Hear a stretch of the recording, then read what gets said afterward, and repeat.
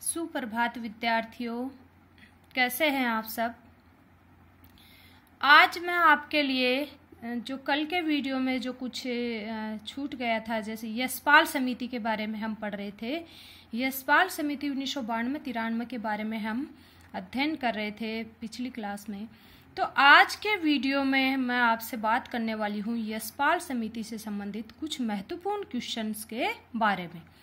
पिछली क्लास में हमने जाना कि सन उन्नीस सौ बानवे में भारत सरकार के मानव संसाधन विकास मंत्रालय ने एक राष्ट्रीय सलाहकार समिति बनाई और उस समिति ने जो शिक्षा है, उसके लिए क्या सलाह प्रस्तुत की? यानी राष्ट्रीय शिक्षा सलाहकार समिति शब्द से ही आपको जान लेना है कि ये शिक्षा की सलाह से संबंधित थी, कि शिक्षा के संबंध में सलाह देना उसमें सुधार करना और क्या क्या उसमें सुधार किए जा सकते हैं, उसकी सलाह देने के लिए इस समिति का गठन है, वो किया गया था। किसकी अध्यक्षता में? प्रोफेसर यशपाल की अध्यक्षता में इस समिति का गठन है, वो किया गया था। तो आज हम जो महत्वपूर्ण जो तथ्य वो छूट गए थे तो क्वेश्चंस के माध्यम से हम उनको हल करने का प्रयास करते हैं। तो आज का हमारा वीडियो इसी से संबंधित रहेगा। तो स्टूडेंट, सबसे पहले हम बात करते हैं कि सन उन्नीस सौ चौरानवे में एकलव्य संस्था द्वारा प्रकाशित चकमक के सितंबर अंक में पढ़ाई का बोझ शीर्षक से एक लेख प्रकाशित किया गया, जिसमें कौन सी समिति की सिफारिशों का सार दिया गया? यानी ये जो लेख प्रकाशित किया गया था, इसमें कौन सी समिति की सिफारिशों का सार है वो दिया गया था? यशपाल समिति की सिफारिशों का सार है वो दिया गया था। अगला क्वेश्चन, अगले क्वेश्चन पे चलते हैं। बच्चों के लिए स्कूली बस्ते के बोझ से ज़्यादा बुरा है, न समझ पाने का बोझ। यह स्टेटमेंट कौन सी समिति ने दिया था? कि बच्चों के लिए स्कूली शिक्षा, स्कूली बस्ते के बोझ से ज़्यादा बुरा है, न समझ पाने का बोझ। यह स्टेटमेंट कौन सी समिति ने दिया था? तो ये स्टेटमेंट आपको पता चल गया होगा। प्रोफेसर यशपाल समिति ने उन्नीस सौ तिरानबे में दिया था। अब अगले क्वेश्चन पे चलते हैं हम। बच्चों को व्यक्तिगत रूप से पुस्तकें खरीदने तथा प्रतिदिन घर ले जाने की ज़रूरत नहीं है, ये सुझाव कौन सी समिति ने दिया था? यानी बच्चों को प्रतिदिन न तो पुस्तकें खरीदने बच्चों को व्यक्तिगत रूप से न तो पुस्तकें खरीदने की आवश्यकता है और न ही प्रतिदिन उनको घर ले जाने की ज़रूरत है। ये सुझाव कौन सी समिति ने दिया था? राष्ट्रीय सलाहकार समिति ने दिया था। फिर अगले क्वेश्चन पे बात करते हैं। छात्रों, अध्यापकों तथा अभिभावकों के लिए शिक्षा दर्शन नामक एक नियमित दूरदर्शन कार्यक्रम शुरू किया गया, यह सुझाव दिया था। क्वेश्चन नंबर चार की बात कर रहे हैं हम। कि छात्रों, अध्यापकों तथा अभिभावकों के लिए शिक्षा दर्शन नामक एक नियमित दूरदर्शन कार्यक्रम शुरू किया जाए। यह सुझाव कौन सी समिति ने दिया था? या यह सिफारिश कौन सी समिति ने दी थी? यशपाल समिति ने दी थी, क्योंकि इस पे हम ज़्यादा ज़ोर इसलिए दे रहे हैं क्योंकि इस तरह का सुझाव या सिफारिश पहले किसी भी समिति या आयोग ने नहीं की थी। इसलिए आप इसको ध्यान में रखें।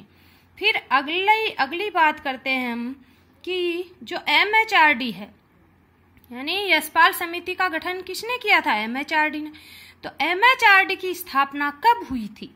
इसकी क्वेश्चन नंबर पाँच पे हम आ रहे हैं कि एम एच आर डी की स्थापना है, वो कब हुई थी?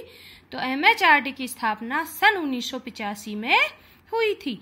फिर अगले क्वेश्चन पे आते हैं, यशपाल समिति किस वर्ष बनी? यशपाल समिति किस वर्ष बनी? तो यशपाल समिति उन्नीस सौ बानवे में बनी। अब बात करते हैं, यशपाल समिति ने एमएचआरडी को अपनी रिपोर्ट कब सौंपी? अपनी रिपोर्ट है वो कब प्रस्तुत की थी यशपाल समिति ने? तो 15 जुलाई उन्नीस सौ तिरानवे को यशपाल समिति ने एमएचआरडी को अपनी रिपोर्ट है वो प्रस्तुत की थी।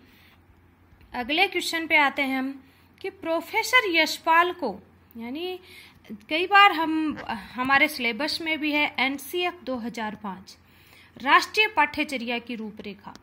ये हम आपके सिलेबस में भी है ये टॉपिक और इसका जो अध्यक्ष है, यानी ये कितनी सदस्यीय समिति थी? अड़तीस सदस्यीय समिति थी। अब जो हम पढ़ रहे थे, ये कितनी सदस्य समिति थी? आठ सदस्य समिति। यशपाल समिति जो थी, वो आठ सदस्य समिति थी। लेकिन प्रोफेसर यशपाल को ही अड़तीस सदस्यीय एक समिति का अध्यक्ष नियुक्त किया गया, यानी बनाया गया, और उस समिति का नाम क्या था? उस समिति का नाम था राष्ट्रीय पाठ्यचर्या की रूपरेखा 2005 एनसीएफ 2005 जिसका अध्यक्ष भी प्रोफेसर यशपाल को ही बनाया गया था। यानी प्रोफेसर यशपाल, जिन्होंने एक तो यशपाल समिति के नाम से जाना जाता है जिस समिति को, और एक जो राष्ट्रीय समिति और बनी राष्ट्रीय शिक्षा समिति, जो एनसीएफ जिसके, जिसको हम कहते हैं, राष्ट्रीय पाठ्यचर्या की रूपरेखा 2005 उसका अध्यक्ष भी प्रोफेसर यशपाल को ही चुना गया था। तो ये बात भी आप ध्यान में रखें। तो ये तो हमारे इतने क्वेश्चन हो गए हैं। अब इसके बाद हम आगे जो क्वेश्चन है उन पर चर्चा करते हैं।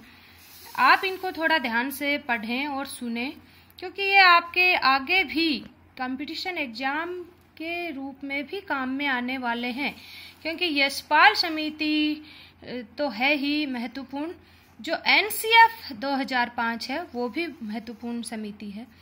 तो इसके बारे में हम बाद में चर्चा करेंगे। आज हम यशपाल समिति के बारे में ही जान लेते हैं। फिर अगले, अगला जो क्वेश्चन आता है हमारा, ज्ञान विस्फोट की अवधारणा किससे संबंधित है? अगला क्वेश्चन है, जिस पे हम बात करने वाले हैं, ज्ञान विस्फोट की जो अवधारणा है, वो किससे संबंधित है?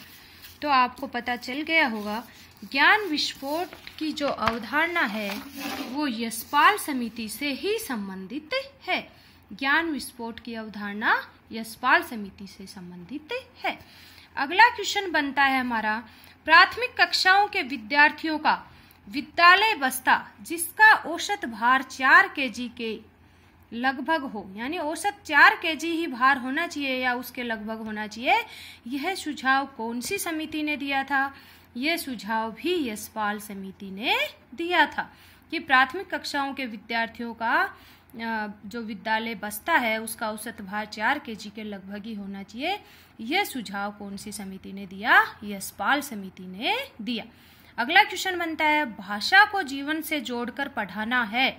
यह सुझाव या सिफारिश किसने की? आप बताओगे इसका आंसर? आपको पता है, गणित को रटने की बजाय समझना है। गणित को रटने की बजाय समझना है। ये जो सिफारिश है या सुझाव है, ये कौन सी समिति ने की थी? यशपाल समिति ने ही किया, सिफारिश की थी कि गणित को, विद्यार्थियों को गणित रटने की बजाय उनको समझाई जाए, उनको रटने की बजाय समझने पे ज़ोर दिया जाए।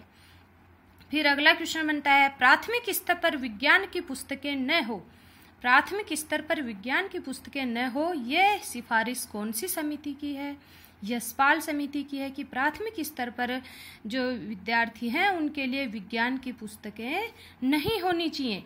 फिर अगली जो बात है, वो है स्वतंत्रता के बाद का इतिहास। कक्षा छः से आठ में पढ़ाया जाए। स्वतंत्रता के बाद का इतिहास कक्षा छः से आठ में पढ़ाया जाए, यह सिफारिश कौन सी समिति ने की थी? स्वतंत्रता के बाद के इतिहास की जो कक्षा छः से आठ में ही पढ़ाया जाए, इस इसके बाद का इतिहास पहले नहीं पढ़ाया जाए जाए, यह सुझाव है वो कौन सी समिति का था? यशपाल समिति का था। अब अगला क्वेश्चन बनता है कि प्रोफेसर यशपाल का निधन कब हुआ? प्रोफेसर यशपाल का निधन है, वो 24 जुलाई 2017 को हुआ। यशपाल समिति के अध्यक्ष भी थे, एनसीएफ के भी अध्यक्ष थे तो इनका निधन है, वो कब हुआ था? ये इनका निधन है, वो 24 जुलाई 2017 को हुआ था। और इसके बाद हम जैसे कहें कि शिक्षा बिना बोझ के ये टाइटल कौन सी समिति का है, ये आपको अच्छी तरह से पता चल गया कि कौन सी समिति का है। और प्राथमिक स्तर पर छात्र शिक्षक अनुपात है वो एक चालीस से घटाकर एक तीस। कौन सी समिति ने, यानी इसका सुझाव कौन सी समिति ने दिया था कि प्राथमिक स्तर पर छात्र शिक्षक अनुपात एक चालीस से घटाकर एक तीस कर दिया जाए? तो यशपाल समिति ने ही इसका सुझाव है या सिफारिश है वो की थी कि एक शिक्षक है, वो चालीस विद्यार्थियों को कैसे पढ़ा पाएगा? इसलिए इस अनुपात को घटाकर कितना कर दिया जाए? तीस कर दिया जाए। एक तीस का रेशियो है, वो कर दिया जाए। यह सुझाव भी यशपाल समिति ने दिया था। अब अगला जो क्वेश्चन है, जिसकी मैं बात कर रही हूँ, उसका आंसर आपको कमेंट बॉक्स में देना होगा। जिससे मुझे पता चल सके कि आपने वीडियो है वो ध्यान से सुना है कि नहीं, या आप कितना इसको पढ़ पा रहे हैं या समझ पा रहे हैं, कितना आपके समझ आ रहा है। इसकी चर्चा हमने पहले की क्लास में कर ली थी, जो जब हम भारत के संविधान के बारे में पढ़ रहे थे, अपने तीसरे पेपर में, तब हम इसकी चर्चा कर चुके हैं। तो मैं आपसे पूछना चाहूँगी कि भारतीय संविधान के किस अनुच्छेद द्वारा चौदह वर्ष के बालक बालिकाओं की निशुल्क तथा अनिवार्य शिक्षा की व्यवस्था है, वो की गई है। यानी कौन से अनुच्छेद में चौदह वर्ष तक के बालक बालिकाओं की निशुल्क तथा अनिवार्य शिक्षा की व्यवस्था की गई है, इसका आंसर आप मुझे कमेंट बॉक्स में लिख के भेजेंगे।